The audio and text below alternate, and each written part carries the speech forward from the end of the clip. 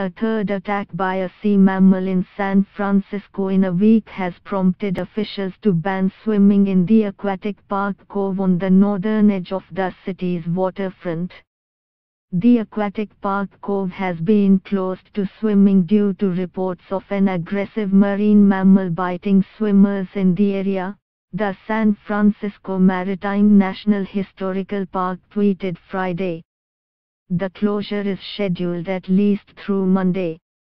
The aquatic park cove is just north of San Francisco's Ghirardelli Square and the cable car terminus of the Powell-Hyde line. The San Francisco Fire Department said that an adult man suffered trauma injuries from a sea lion Friday morning.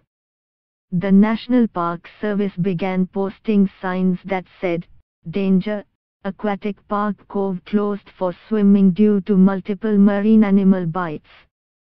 The San Francisco Chronicle said the injured swimmer suffered a severe bite about 8 a.m. Friday.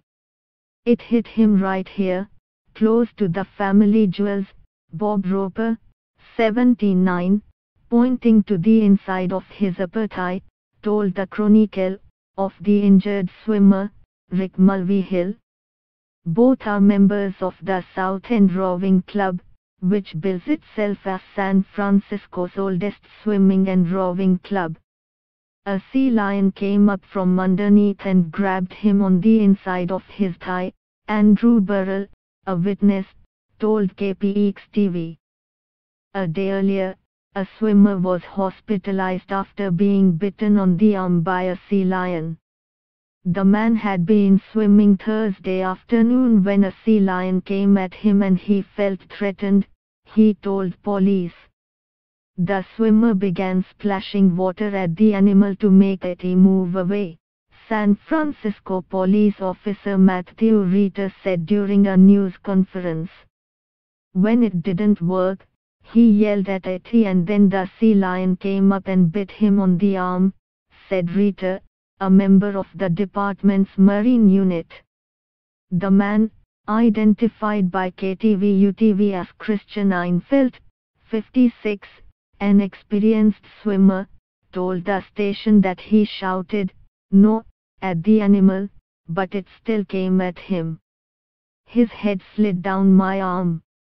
Fortunately he only got one tooth into my arm, Einfeld told KTVU-TV.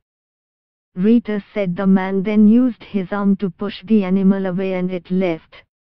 People aboard a nearby sailboat rescued the swimmer and called the Coast Guard. The boat saved his life, Reiter said. Had that boat not seen him, this could have been a different story. Authorities directed the boat to come in, and Reiter applied a tourniquet in an attempt to stop heavy bleeding.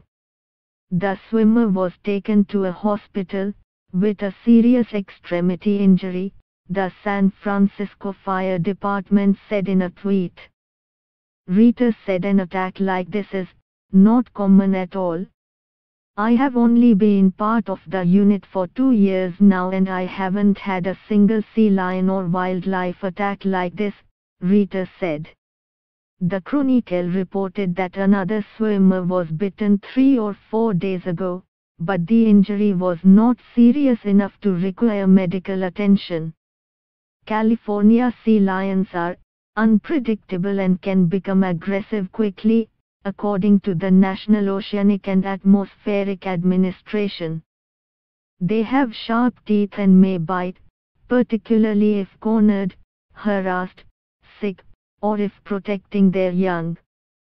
Sea lions can be playful, however they can also be territorial and dangerous especially during the mating seasons, the agency said.